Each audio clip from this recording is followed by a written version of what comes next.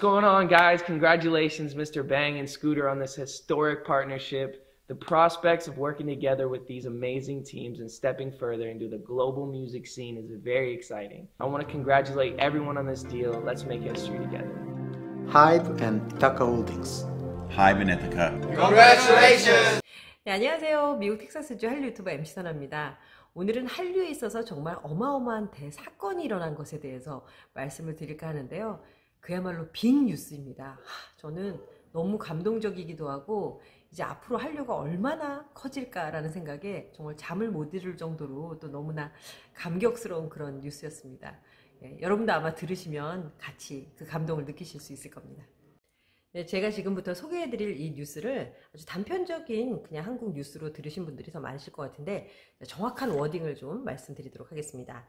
자, 지난 2일 하이브는 공시를 통해 자회사 빅히트 아메리카가 음악, IT, 영화, 문화 등 다양한 영역에서 사업을 영위하고 있는 미국 종합 미디어 그룹 이타카 홀딩스 지분 100%를 인수한다고 밝혔다. 인수 대상에는 스쿠터 브라운이 이끄는 SB 프로젝트, 빅머신 레이블 그룹 등 다양한 사업이 포함된다. 네, 이런 내용의 기사 아마 보신 분들도 계실 건데요. 이 하이브라는 그룹은 지금 빅히트가 새롭게 branding을 한 새로운 그룹인데요. 어쨌든 방탄에 속해 있는 빅히트가 이제 하이브로 바뀐 겁니다. 근데 이 하이브가 미국에 회사가 있는데 빅히트 아메리카예요. 이 빅히트 아메리카가 미국에 있는 엄청나게 큰 미디어 그룹인 예, 이타카 홀딩스를 100% 인수했다. 그 지분을 100% 인수했다. 이런 뉴스입니다. 네, 처음에 소개해드린 것처럼 저스틴 비버가 이제 BTS와 함께 같은 소속사에 속하게 되는 거고요. 또 아리아나 그란데, 어우, 미국에서 엄청나게 인기거든요. 아리아나 그란데, 그리고 데미 로바토, 또 제이 발빈 같은 글로벌 top-tier 가수들이 이제 BTS와 한솥밥을 먹게 되었습니다. 같은 소속사인 거죠, 이제. 네. 네, 미국 언론들이 지금 굉장히 뜨겁게 이 부분에 대해서 취재를 하고 있는데요. 이제 방시혁 대표가 여기에 대해서 어떤 이야기를 발표를 했냐면요. 제가 한번 그대로 읽어보겠습니다. The two companies will work closely together leveraging our proven track record of success, know-how, and expertise to create synergy. transcend borders and break down cultural barriers. 네, 이렇게 발표를 했습니다. 하, 저는 이게 정말 너무 멋있어가지고 막 이거 외워야 될 것 같아요. 자, 두 회사는 가깝게 협력을 해서 이미 증명한 성공과 노하우, 전문 지식을 더욱 높일 것이다. 네, 지렛대의 원리를 이용해서 더욱더 높이겠다. 그런데 그 이유는 무엇을 위해서인가? 시너지를 창출하고 경계를 초월하고 그리고 문화의 장벽을 깨기 위해서다. 네, 여기서 정말 중요한 이야기를 방식 대표가 하는데요. 바로 cultural barriers를 breakdown 하겠다. 문화의 장벽을 깨겠다. 아, 이게 무슨 얘기겠습니까, 여러분? 여태까지 한국말로 하는 한국 노래, 케이팝이라는 어떤 그런 장벽이 있었잖아요. 아시안이라는 어떤 장벽, 이런 것들을 깨기 위해서 노력하겠다. 이게 어떤 목표 라고도 말할 수가 있을 텐데요. 굉장히 중요한 이야기를 합니다. 그리고 boulders transcend 하겠다. 어떤 틀이 있다면 그 틀을 넘어서겠다. 한계를 넘어서겠다. 초월하겠다. 이런 이야기를 합니다. 정말 너무 멋지지 않습니까? 네, 하이브의 이타카 홀딩스 인수와 관련해서 첫 번째 역사적인 의미는 바로 문화의 융합이라고 생각이 듭니다. 여태까지는 미국의 큰 어떤 팝 시장의 주류 시장 중에서 케이팝이 갖는 의미는 좀 비주류, minority의 이미지가 굉장히 강했습니다. 물론 BTS가 굉장히 인기가 있었지만 BTS는 좀 따로 분류하는 듯한 그런 분위기가 있었던 게 사실인데요. 이제 방시혁 씨가 미국의 큰 이타카 홀딩스라는 그 미디어 그룹을 가져감으로써 이 미국 그룹이 이제 한국 그룹이 된 거잖아요. 어, 그들이 가지고 있는 영향력과 힘은 정말 어마어마합니다.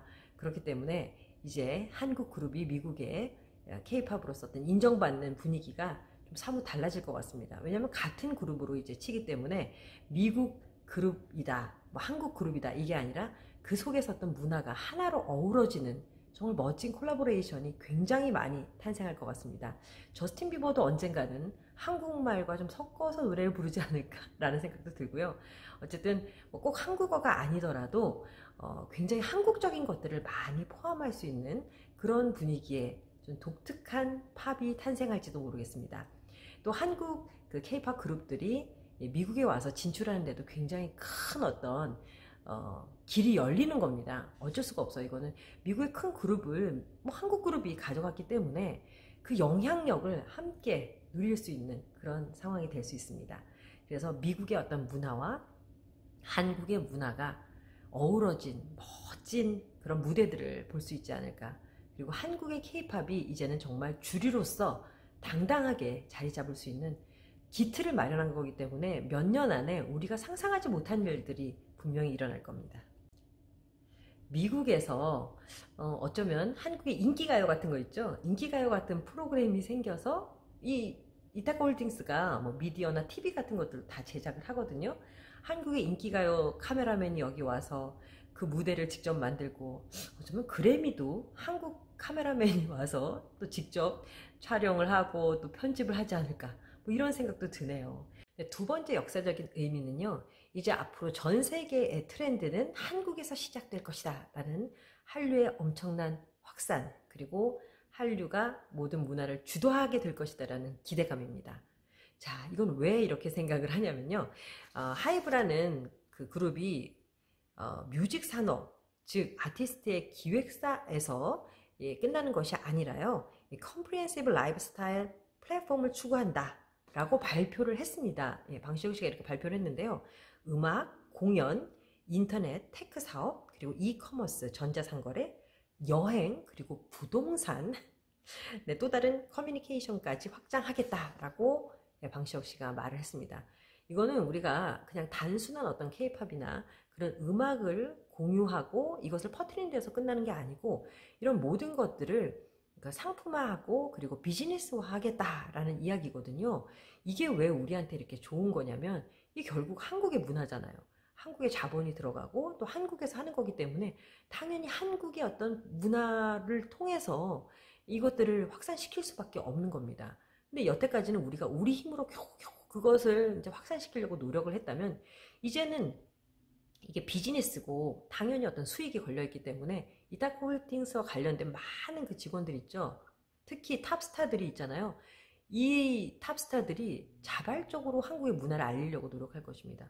왜냐면 그 한국의 문화가 또 굉장히 세련되고 고급스럽잖아요. 그런 걸 미국인들도 이미 알고 있기 때문에 이런 것들을 이용해서 자신들의 이미지도 더 올라가고 그리고 그 회사가 이익, 이익을 창출을 할 수 있다면 왜 이걸 마다하겠습니까? 네. 결국 한국의 문화가 묻어갈 수밖에 없습니다. 아리아나 그란데가 한국의 그 화장품 회사와 함께 협업을 할 수도 있는 거고요.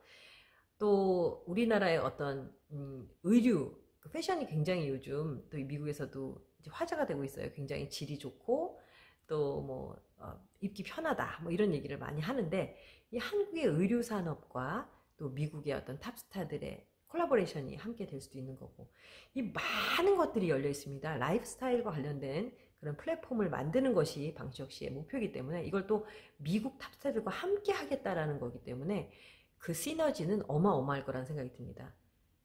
여러분 그 할리우드 스타들이 한 번 뭐 입으면 그게 막 그냥 막 매진이 되잖아요. 요즘은 이게 또 BTS와 관련해서 어, BTS의 태형군이 뭐 하나 뭐 티셔츠 입었다, 정국군이 뭐 하나 입었다 그러면 그 다음날로 그게 다 품절 난리가 나잖아요.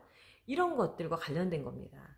결국 어, 우리 이제 그런데 이것이 한국 아티스트뿐만 아니라 미국의 탑 아티스트들도 한국의 문화를 자신들이 예, 또 소비를 한다든지 또는 같이 콜라보레이션을 해서 예, 시너지를 내서 예, 트렌드를 이끌어가는 그런 일을 할 수가 있는 거죠.